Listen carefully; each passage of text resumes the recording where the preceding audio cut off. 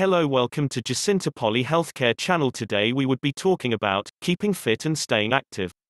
To put it simply, physical activity and exercise are important for everyone.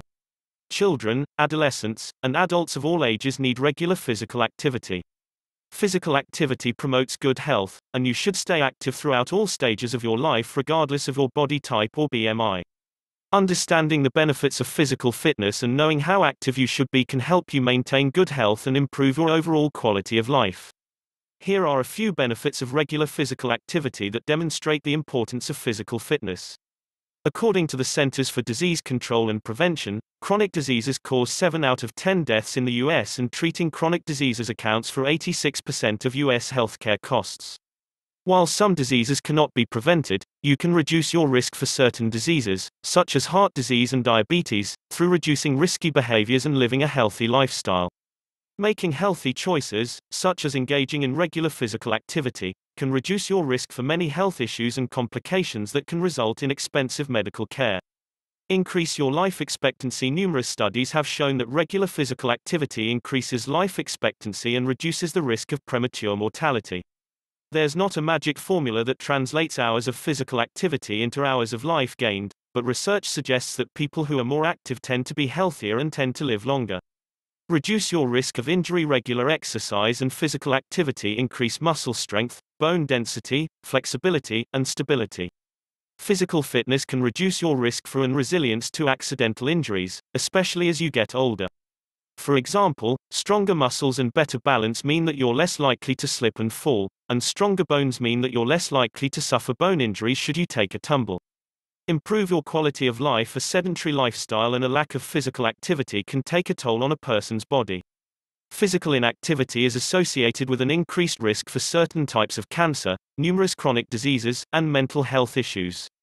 Exercise, however, has been shown to improve mood and mental health and provides numerous health benefits. Of course, physical fitness also allows you to do things that you may not otherwise be able to do. Stay active Staying active and healthy allows you to do activities that require a certain level of physical fitness. For example, hiking to the top of a mountain is a rewarding experience that instills a sense of accomplishment and provides spectacular scenery, but there are people who cannot experience this due to fitness limitations.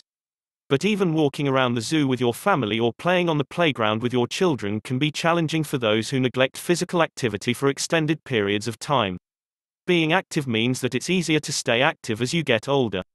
Improve your health. There are numerous health advantages of physical fitness. Regular exercise and physical activity promote strong muscles and bones. It improves respiratory, cardiovascular health, and overall health. Staying active can also help you maintain a healthy weight, reduce your risk for type 2 diabetes, heart disease, and reduce your risk for some cancers. In other words, staying active is a crucial part of maintaining good health and wellness. Here are the CDC physical activity guidelines for children, adults, adults over 65, and pregnant or postpartum women. Encourage your family to be more active, and challenge yourself to meet daily or weekly physical activity goals. Play outdoor sports with the whole family, schedule time each day to go to the gym, or pick up healthy, active hobbies like hiking or cycling. National Physical Fitness and Sports Month is a great time to get more active, but don't stop at the end of the month. Make exercise and physical activity a permanent part of your daily routine. We all know that exercise is important in our daily lives, but we may not know why or what exercise can do for us.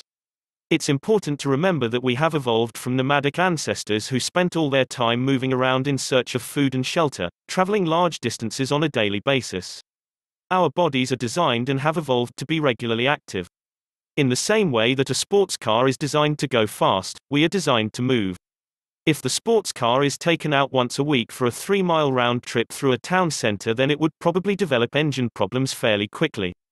Over time, people develop problems if they sit down all day at a desk or in front of the TV and minimize the amount of exercise they do. The benefits of exercise There are many benefits of regular exercise and maintaining fitness, and these include Exercise increases energy levels. Exercise improves both the strength and the efficiency of your cardiovascular system to get the oxygen and nutrients to your muscles. When your cardiovascular system works better, everything seems easier and you have more energy for the fun stuff in life. Exercise improves muscle strength. Staying active keeps muscles strong and joints, tendons, and ligaments flexible, allowing you to move more easily and avoid injury. Strong muscles and ligaments reduce your risk of joint and lower back pain by keeping joints in proper alignment. They also improve coordination and balance. Exercise can help you to maintain a healthy weight. The more you exercise, the more calories you burn. In addition, the more muscle you develop, the higher your metabolic rate becomes, so you burn more calories even when you're not exercising. The result? You may lose weight and look better physically, which will boost your self esteem.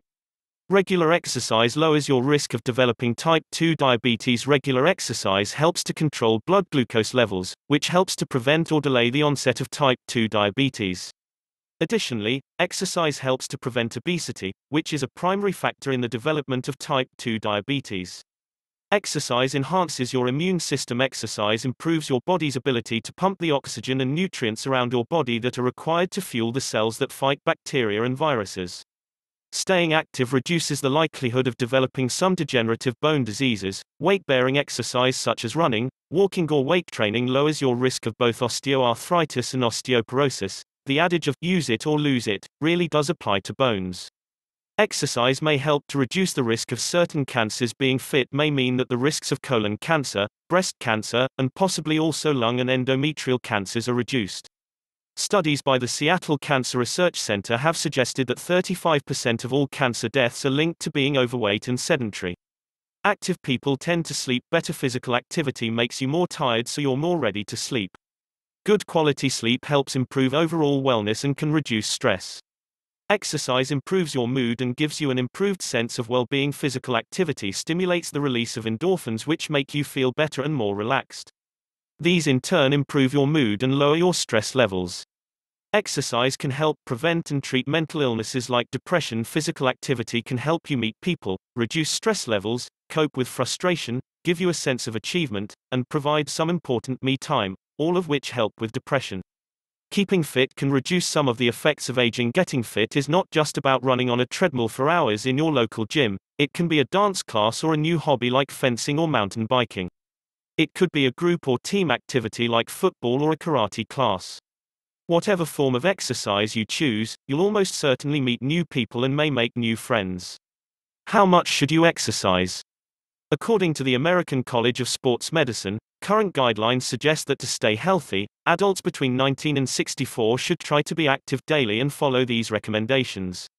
Cardiorespiratory exercise Cardiorespiratory exercise, often abbreviated to cardio, is any exercise that increases the heartbeat and breathing rate. Such exercises include walking, running, swimming, cycling, dancing, and team sports such as football, hockey, basketball, etc. Resistance exercise Resistance exercise is concerned with working for the body's muscle groups and building strength. It is recommended that adults train each major muscle group two or three days each week using a variety of exercises and equipment. Very light or light intensity resistance training is best for older persons or previously sedentary adults new to exercise. Two to four sets of each exercise will help adults improve their strength and power. For each exercise, 8 to 12 repetitions improve strength and power, 10 to 15 repetitions improve strength in middle age and older persons starting exercise, while 15 to 20 repetitions improve muscular endurance. It is recommended that adults should wait at least 48 hours between resistance training sessions. Physical activity can also help people maintain weight loss. Among the nearly 3,700 men and women who are part of the National Weight Control Registry, a group that includes only people who lost more than 30 pounds and kept them off for at least a year, the average participant burns an average of about 400 calories per day in physical activity. That's the equivalent of about 60 to 75 minutes of brisk walking each day or 35 to 40 minutes of daily jogging. But there's quite a bit of variation from participant to participant, some require more physical activity to keep the weight off, some require less.